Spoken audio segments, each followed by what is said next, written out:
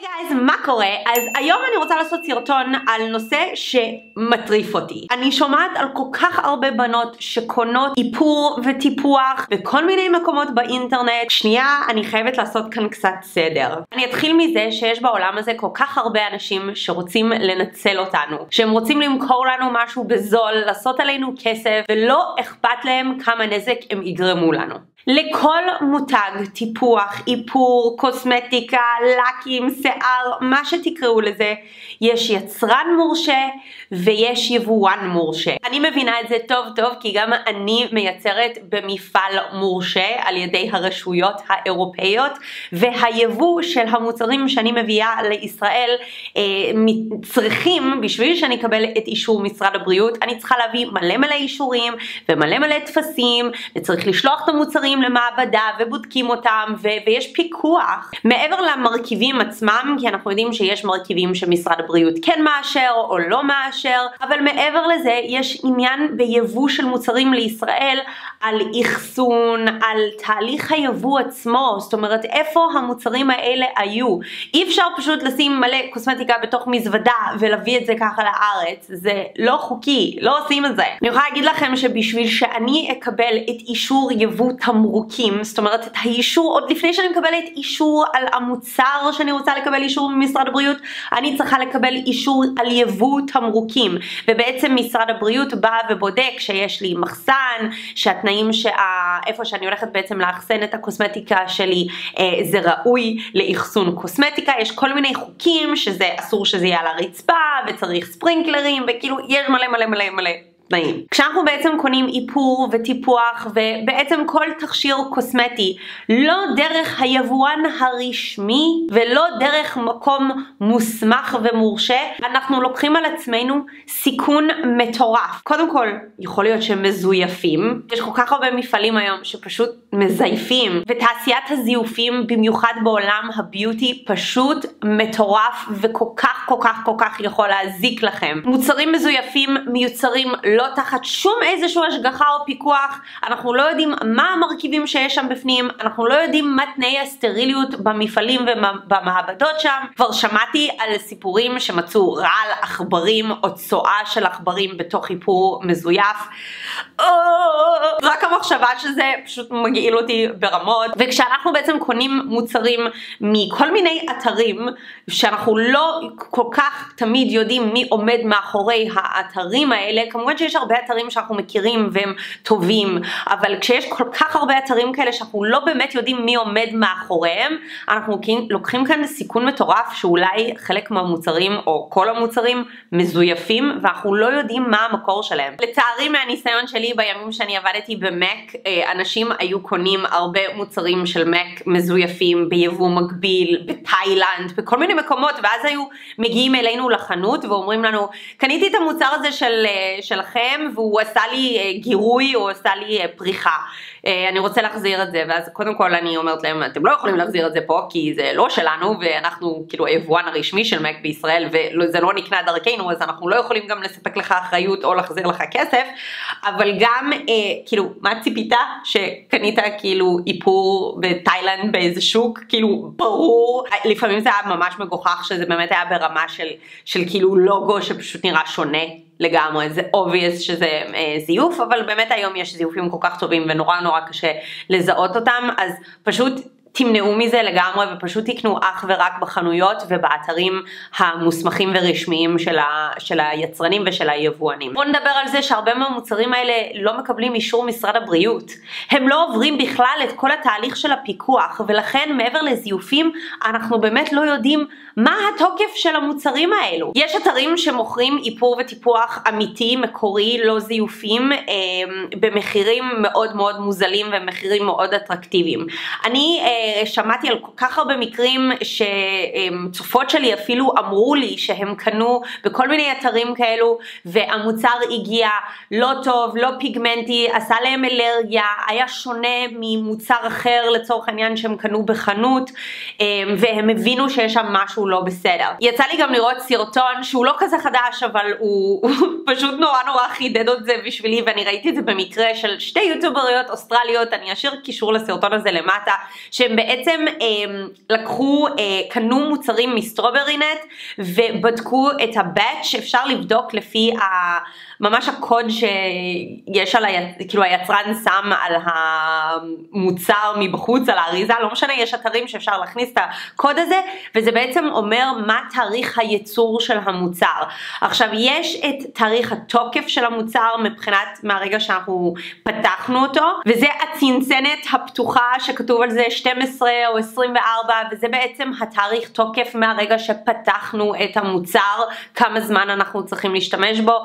בדרך כלל לקרמים זה בערך 12 חודשים, למוצרים הם, כמו צלליות ואבקות זה יכול להיות 3 שנים, לקים זה בדרך כלל שנתיים, זאת אומרת יש, אה, לכל מוצר יש בעצם את התוקף שלו, וזה כמובן תלוי במה המרכיבים בפנים, והיצרן המורשה המוסמך בעצם מגדיר מה התוקף מהרגע שפתחנו את התכשיר. אבל מעבר לזה יש גם את החיי מדף של התכשיר, וזה בלי קשר, ובדרך כלל אנחנו אומרים שחיי מדף למוצרי קוסמטיקה הם כשלוש שנים. זאת אומרת קרם שקניתי שיש לו חיי מדף של שנתיים וחיי אה, תוקף מהרגע שפתחנו אותו לעוד שנה.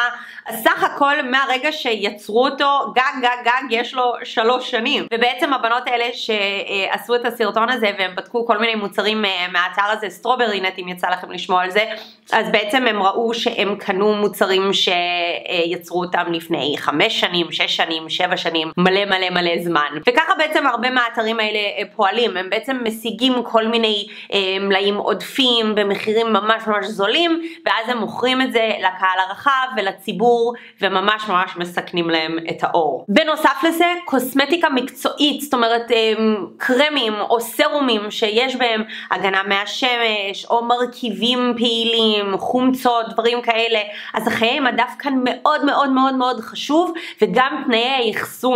זאת אומרת, אם יש משהו שהיה מוחסן בתנאים לא טובים, חם מדי, לח מדי ויותר מדי זמן, לא רק שהתכשיר הזה כבר לא באמת יעבוד, וכל התועלת שאתם רוצות להשיג מהקרמים האלה פשוט לא קיימת יותר, אבל זה יכול לעשות נזק עצום לעור, וזה סופר מסוכן. אל תתפתעו מלקנות מכל מיני אתרים כאלה של דברים בזול. אני לא מדברת עכשיו על אתרים שעושים מבצע, כי מבצע יכול להיות באמת שהם פשוט עושים פעם בשנה, או פעמיים בשנה, או תקופתי, מבצעים וזה בסדר. אבל יש אתרים שבאמת צריך נורא להיזהר מהם, זה אתרים שנגיד קרם שבדרך כלל עולה 200 שקלים, מוכרים אותו ב-100 שקלים, זה אמור להדליק לכם נורה אדומה. או שזה מזויף, או שזה כבר באמת לא בתוקף. ולכן גם כל כך שמחתי לראות שבאמת אה, דרמולוג'יקה, שזה מותג טיפוח שאני כל כך אוהבת, בינלאומי, אה, סוף סוף פתח אתר מכירה כאן בארץ, כי אני שמעתי על כל כך הרבה מקרים שאנשים קונים את זה מכל מיני אתרים, כי הם חושבים שזה יותר זול והם יחסכו כסף והם מביאים את זה מכל מיני אתרים כאלה. אני לא הייתי ממליצה לעשות דבר כזה, במיוחד שמדובר כאן על, כמו שאמרתי, קוסמטיקה מקצועית עם חומרים פעילים ואתם רוצים רוצים לקבל גם את מקסימום האפקט שאתם רוצים לקבל בעצם מהתכשירים האלה. שמעתי גם על מקרים של לאקים, אה, OPI נלחם בזה ממש ממש ממש קשה, וכל מיני יבואנים מקבילים, וכל מיני זיופים שיש בשוק, וכאן במדינת ישראל אנחנו באמת מוצפים בזיופים וביבוא שהוא לא דרך היבואן הרשמי, ואנחנו מאוד צריכים להיזהר מזה, כי לאקים שהם פגי תוקף, מזויפים, לא עברו את אישור משרד משרד הבריאות, אנחנו לא יודעים מה אנחנו מורחים על הציפורניים, בבקשה תשמרו על הציפורניים. אז איפה כן טוב לקנות? אתרים באמת שהם רשמיים, זה המקום הכי טוב לקנות איפור וקוסמטיקה. Uh, לצורך העניין, כמו שאמרתי, דרמולוג'יקה עכשיו פתחו את האתר הרשמי שלהם כאן בישראל.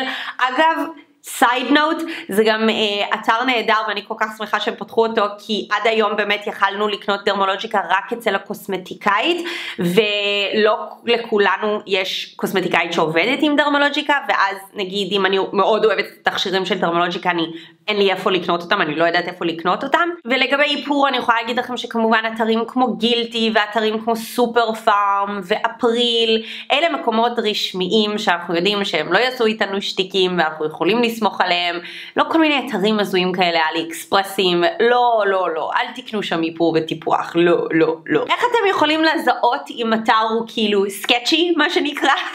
איך אומרים סקצ'י בעברית? בגדול, אם המחיר פשוט נראה לכם הזוי. כאילו, אני אמרתי את זה גם בסרטון שלי בעבר שדיברתי על מוצרים מזויפים.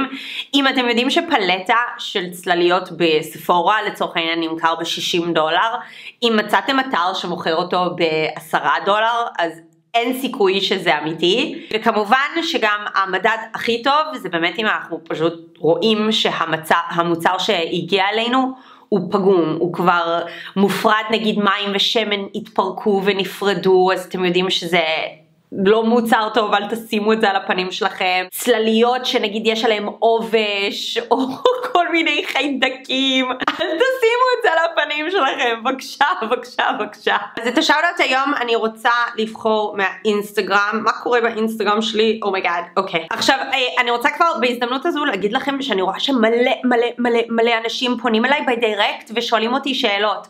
זה המקום הכי גרוע, הכי גרוע לפנות אליי, אני, הסיכוי שאני אראה את ההודעה שלכם הוא בגדול אפסי. אם אתם רוצים לשאול אותי משהו, להגיד לי משהו, לכתוב לי משהו, להתייעץ איתי, תעשו את זה בתגובה על התמונה, על הפוסט. שהעליתי באינסטגרם. כי בהודעות פרטיות באינסטגרם באמת אני ממש ממש גרועה בלראות. אוקיי בוא ניכנס רגע לתמונה האחרונה שלי שזה קצת זמן להיפתח כי הווי פיי שלי נורא בבית. למה הוא נורא? כי כל הקירות מהבית הזה הם בטון. אני אומרת לכם אני גרה בתור בונקר. וכשאני סוגרת את הדלת כאילו אני לא קולטת פה ווי פיי לא רק שאני לא קולטת ווי פיי אני גם לא קולטת את ה-4G כאילו את האינטרנט הסלולרי. אפשר שתעלה כבר. תראו, אני פשוט יושבת ככה, כאילו, ככה. מחכה. או, או, או, נפתח. מהמם. אוקיי, בואו ננסה רנדומלי ונגיד shout out לאלה פרץ. אלה פרץ שמגיבה לי האמת המון באינסטגרם, אז היי יוש. אז אלה רשמה לי אימא'לה, אבא'לה, מאלפת, אבא'לה, זה לא אמיתי, אימא'לה, אימא'לה. את חמודה.